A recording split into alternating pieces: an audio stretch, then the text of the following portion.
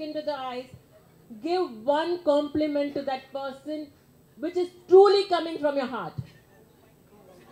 Come on. And you mean that word.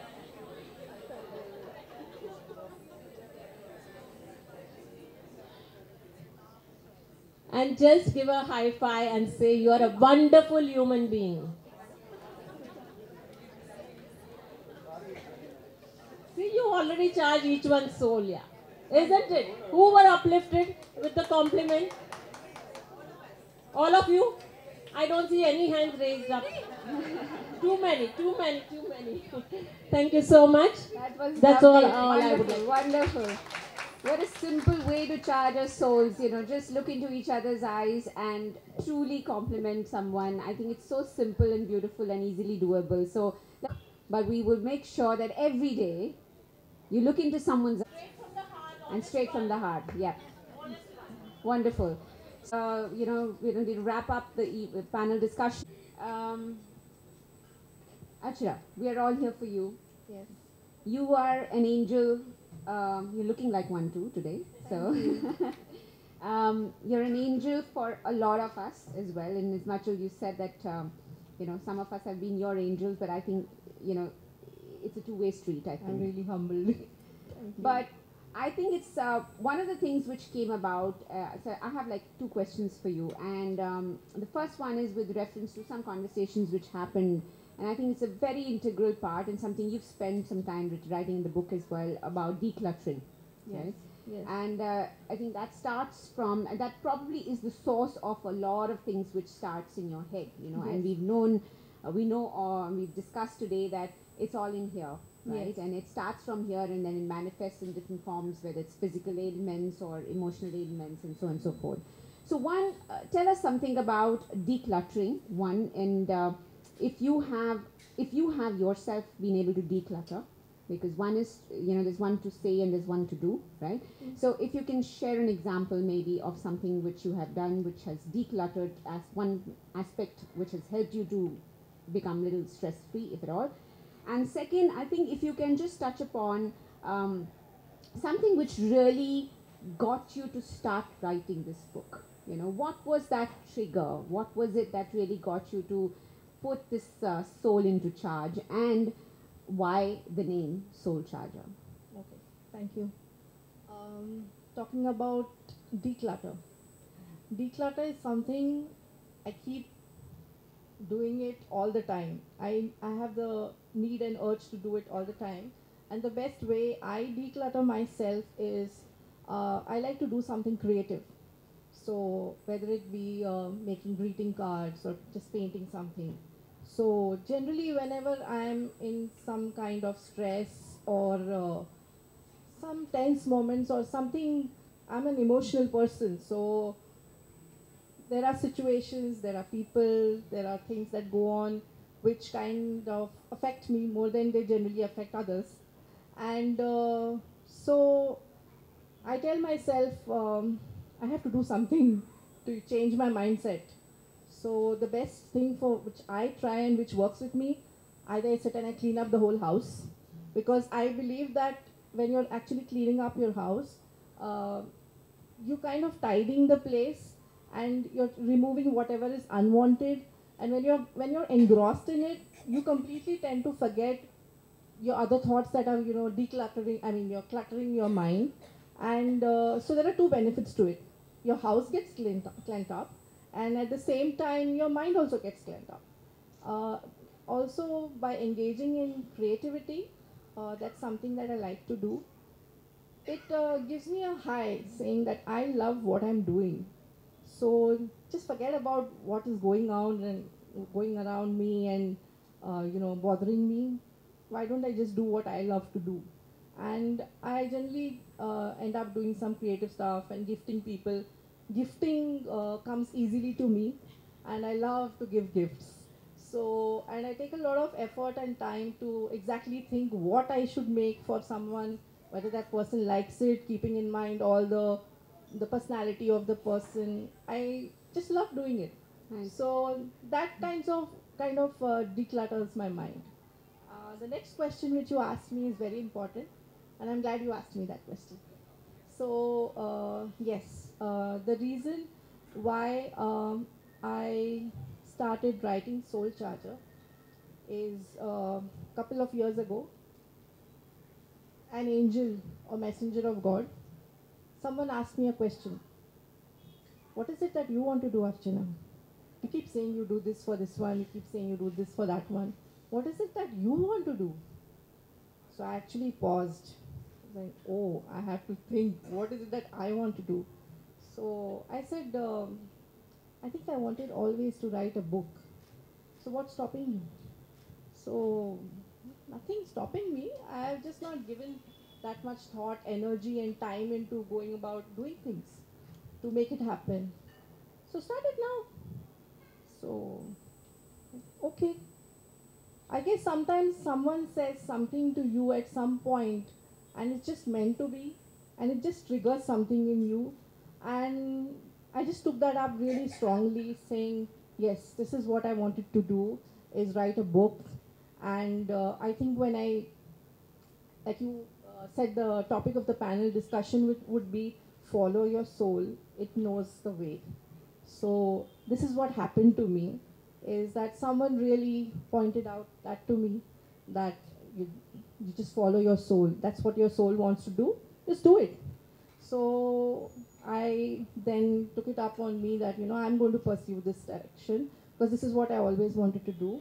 And uh, then I did have the universe orchestrate events in my life where I happened to go for the Jerry Roberts boot camp with my friend Nimish Mehta, who's also here.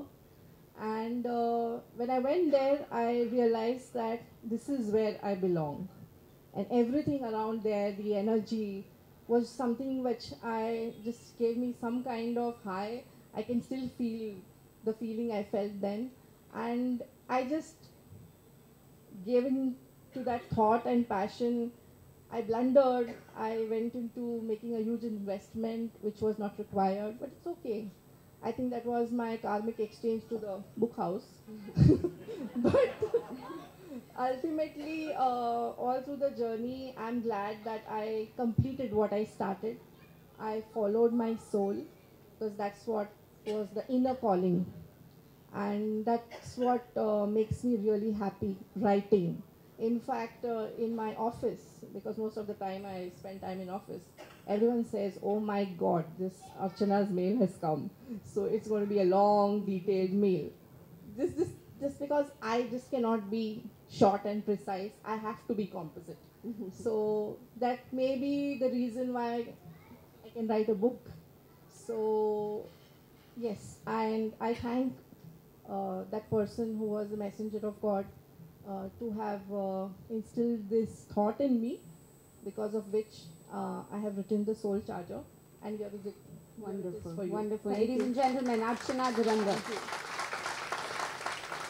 I think it's been an amazing conversation, discussion with such fabulous insights and to listen to your soul, listen to your heart, right? You know, what is that's the voice in you telling you to do, follow something.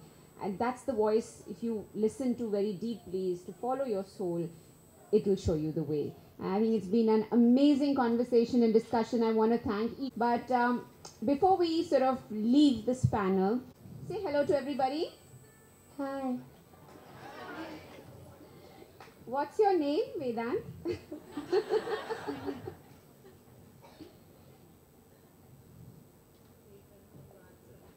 okay, so tell me, Vedant, um, you call yourself something, right?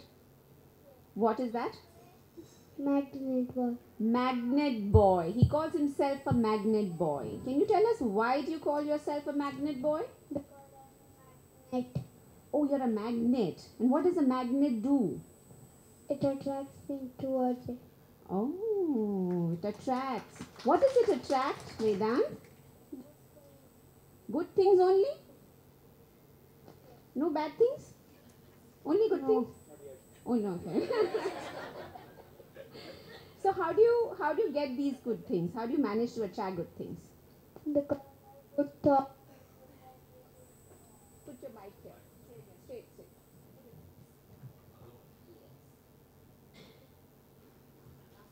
because good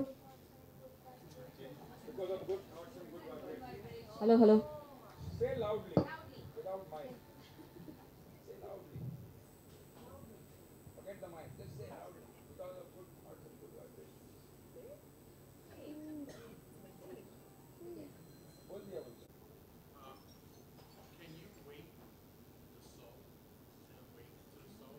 Can you weigh the soul?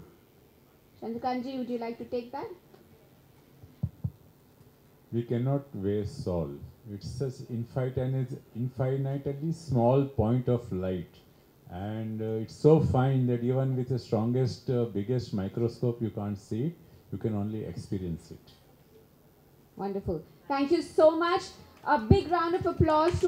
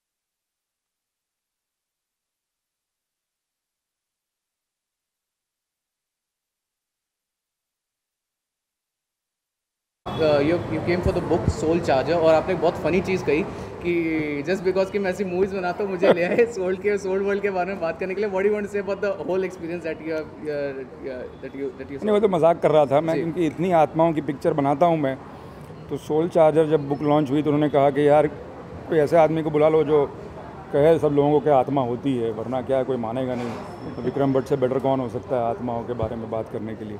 लेकिन वो मज़ाक कर रहा था। क्योंकि अर्चना की जो किताब है सोल चार्जर वो बड़ी बड़ी तकलीफ़ से गुजर के उसने ये कहानी लिखी है। खुद के पैसे खर्च कर दिए उसने बेचारी ने अ, कोई आके यू नो उसको मतलब कहते हैं ना चार सौ बीसी से पैसे ले गए। लेकिन उसको ये किताब लिखनी ही थी और लिखी उसने और बाकायदा प्रिंट भी की पब्लिश भी की और आज उसके लिए बड़ा बहुत बड़ा दिन है। बट देखने वाली बात यह है कि दूसरों को मदद करने वाले कितनी हद तक जा सकते हैं। देखो हम अपने आप के लिए तो काफ़ी कुछ कर लेते हैं। मन्नतें रख लेते हैं नंगे पाँव चल लेते हैं यहाँ कर लेते हैं वहाँ कर लेते हैं लोगों के पैर पड़ लेते हैं। लेकिन दूसरों की मदद करने के लिए दूसरों के सोल की जर्नी के लिए कौन इतना करता है? और मैं बस उस भावना को को आदर देने के लिए आया। Sir I you an avid book reader और if yes what's what's your favourite genre I am very avid book reader I read two books at one time one non fiction one fiction ऐसा मेरा कोई favourite नहीं है। I have favourite works of all authors instead of having one favourite author but I read everything I read thrillers I read sci-fi I read philosophy I read everything Okay, so autobiography, what's uh, is uh, how does how does that interest you? मतलब वो genre कैसे interest करता है? जब books में autobiography होती है? Actually सबसे कम वो इंस्पायर करती है मुझे। क्योंकि अ, मैं नहीं मानता कि कोई भी ऑटोग्राफ ऑटोबायोग्राफी कम्प्लीटली सच हो सकती है। जैसे अभी बिल क्लिंटन की किताब मैंने पढ़ी मोनिका लेवेंस की का तो ज़िक्र ही नहीं है उसमें बायोग्राफीज अच्छी होती हैं। स्पेशली जो सैंक्शन नहीं की गई हो। लेकिन ऑटोबायोग्राफी में मेरा थोड़ा कम विश्वास है, क्योंकि सच्चाई ऐसी होती है ना कि आप सच्चाई को तोड़ मरोड़ सकते हैं। वो कहते हैं ना कि अगर आप एक ही झूठ को बार बार दोहराने लगो तो वो सच लगता है। अब लोगों को अपने बारे में क्या सच है वो जानना कि मैंने को कोई पड़ी नहीं है। As an avid film maker आपने जिस तरीके से कहा कि ऑटोबायोग्राफी पे लोग सच को तोड़ मरोड़ सकते हैं as an avid film maker आप ये बताइए सर मतलब जो बायोपिक जो एक ट्रेंड है उसके बारे में व्हाट्स योर ट्रेंड मतलब आज के आज के टाइम में हर कोई बायोपिक बना रहा है हर किसी पे बायोपिक आ रही है। What's your what's your what's your take on that being देखो यार बायोपिक में ये फ़ायदा है ना कि रेडीमेड कहानी होती है। जहाँ आप कहानी ढूंढ रहे हैं वहाँ एक रेडीमेड कहानी ढूंढ होती है। किसी ने लिखी है या चर्चित होती है कभी कभी कुछ कहानियाँ ऐसी है कि आपको पता भी नहीं है लेकिन देख लिया आपने। लेकिन बॉलीवुड में ऐसे छब्बीस, सत्ताईस साल से खुद डायरेक्ट कर रहा हूँ और उसके पहले आठ, दस साल दस साल में असिस्टेंट रहा हूँ। तो ये जो मेरी चौंतीस, पैंतीस साल की जर्नी है, उसमें मैंने बहुत से ऐसे वो कहते हैं ना कि मॉब बिहेवियर देखी है। लोग कहते हैं कि बायोपिक चलती है तो सब बायोपिक बनाना शुरू कर देते हैं। फिर कहते हैं कॉमेडी चलती है तो फिर कब कॉमेडी बनाते हैं। फिर कहते हैं कि एक्शन चलती है तो एक्शन बनाते हैं। तो देख देखना ये सब दौर हैं। और ये देखना है कि ये दौर कब तक चलता है। तीन चार नहीं चलेगी तो बंद हो जाएगा दौर। Sir will you ever direct a biopic ये कोई हाँ या ना में ठोस जवाब देने वाली बात नहीं है। क्योंकि डिपेंड करता है किसके ऊपर है क्या है। मेरे कितने नज़दीक है ये मामला। ओके हाँ लास्ट